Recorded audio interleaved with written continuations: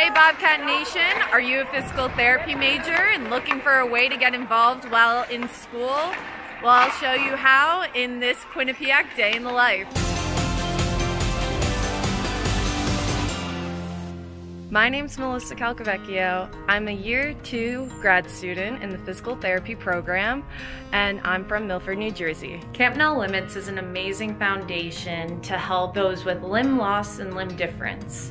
It's a place where people can get together to learn about one another, support one another, empower, and educate people so that we can learn more about what challenges they're going through in life and what they really love to do. All right, we got everyone settled in at Rocky Top Student Center. We're currently in the middle of game night. Right now they're playing Salt and Pepper behind me, but we also got Minute to Win It and Bingo going on tonight. So we love doing game night on the first night so that everyone can meet, find new friends, talk and get to know each other. It's very important in the PT field to get to know one another, build a trusting relationship. So that's what we're doing here.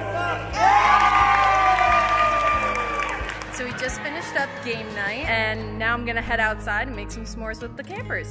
We're about to start day two, but first I gotta head over to class on North Haven campus. So today I'm gonna be learning about concussions. We're gonna learn how to screen for them, how to test for them, and how to treat them. So we just finished up with lecture and now we're heading back to York Hill for PT and OT sessions. So this morning we are starting off with energizers. We use energizers as a way to wake up in the morning, kind of get everyone going, get the blood moving, get us ready for the rest of of the activities today.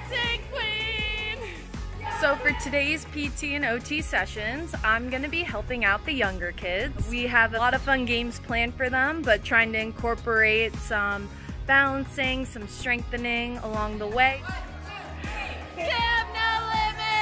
So we got some of the older kids upstairs in the gym. They're learning how to use the different equipment. I'm back on campus at North Haven here for PT Lab. We're learning all about concussions, motion sensitivity, so people who are dealing with dizziness, possibly vertigo, and we're learning how to treat it. We're back here up at Rocky Top, getting ready for some field day. Under Go!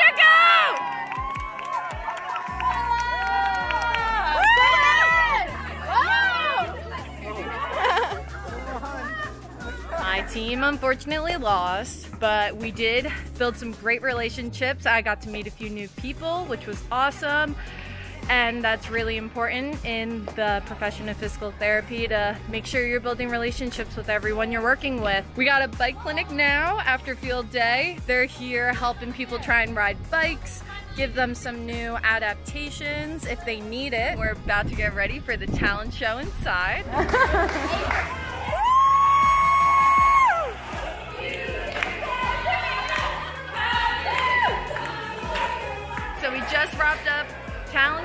was awesome. All the kids had such great talents. It was an amazing night.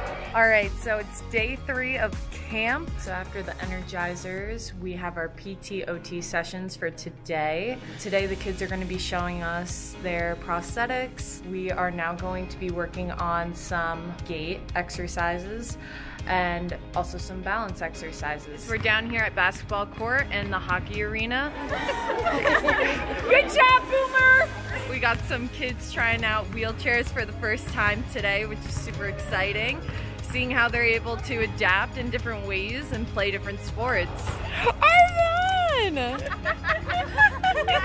All right, everyone, so it's the last day of camp. I'm so sad. Today is actually my birthday, and what better way to spend it than at camp? I'm having so much fun.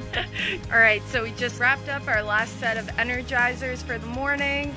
Everyone's saying their goodbyes, and my favorite part of camp was seeing everyone try things for the first time, see how people are adapting to different things, learning things, and just really having fun with everyone. This has been such an amazing opportunity. I've learned so much. One of the most important things that I've learned today was that it's really about listening to who you're working with. It's really about listening from them and their experiences and finding ways to work around it. I've learned so much about the PT profession. This has really solidified my want to continue with this. Be sure to check out other Quinnipiac Day in the Life videos to see what Quinnipiac is all for yourself. Go Bobcats!